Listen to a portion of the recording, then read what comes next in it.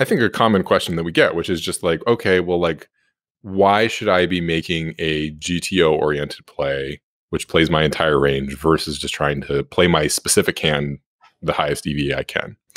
And you know, having watched the Super Bowl, I, I thought of an analogy that was basically like, well, in football, you have two types of plays. You have a pass play and you have a run play. And there's a third type of play, which is I would call a branch in the strategy that we use in poker. That's called a play action, which is essentially a fake run into a pass. And uh, oh, sorry, this is American football for all our uh, non-American friends. They get. I lived in South America. I know they get very insistent about that. So we are talking about American football. Um, but anyways, like they one of the things that happens with these fake runs is that they end up being some of the biggest plays in football. There's like a lot of deceptive value. It's, you know, the the defense will overcommit and then boom, you get a big pass, pass play that ends up in getting points and touchdowns and things like that.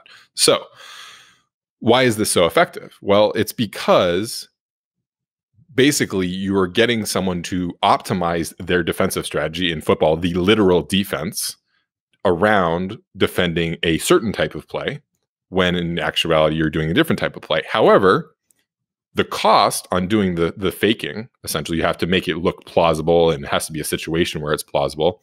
There's a cost to it that like you're essentially running a less efficient pass play right? It'll take longer for your people to get out there.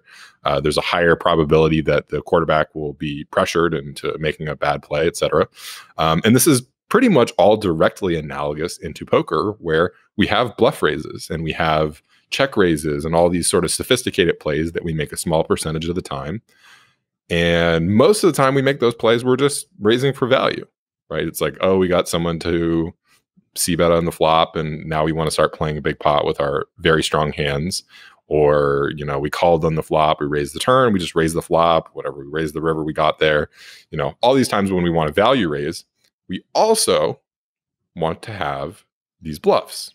And these bluffs are, I think, just a perfect analogy to a play action in football where that bluff is less efficient because if you think about it, like if I'm making a bluff raise on the river, most of the time I'm risking more than the size of the pot to win this pot with a hand that doesn't have any chance of winning, right?